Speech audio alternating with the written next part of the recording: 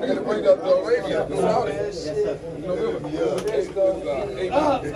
Derek, that's okay, man. I'm good. Gotta get you. That's okay. You, you got you got plenty of money. Congratulations, man. We gonna talk. I see you. All right, buddy.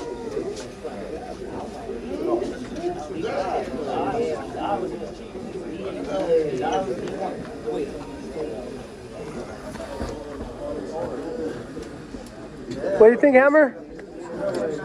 Got it done, baby. Three years out of the ring.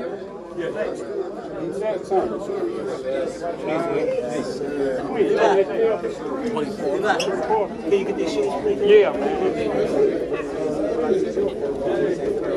Hey, my man. Please, Hammer, don't hurt him. MC Hammer had a song like that. You should play it. You should play it when you come out into the ring. This is one of the craziest reporters I know. um, what do you think? Hey, he, threw his, he let his hands go more than usual. It's good to get the rounds.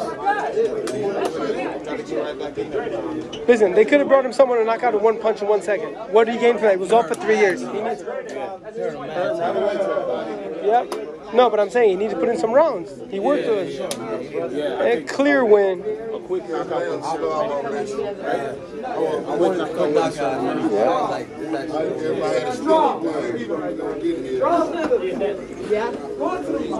How'd it feel? Put in some rounds.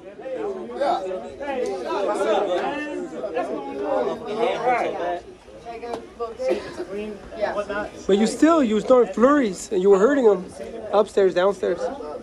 Shit, I, I told Coach Kev in the, in the corner, I say, bro, I don't give a fuck my hand fucked up. I'm still finna throw this bitch. Listen, I told you this many times. Anybody that fights Adrien it's their Super Bowl, it's their NBA Finals. They're gonna go above and beyond than if it was anybody else.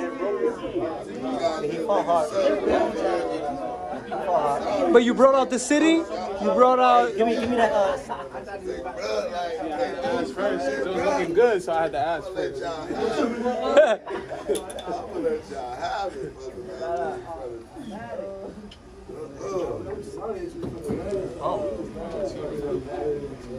Hey, man. Hey, Chef. Where Chef go? I, I told him he's going duck hunting the way he was dressed.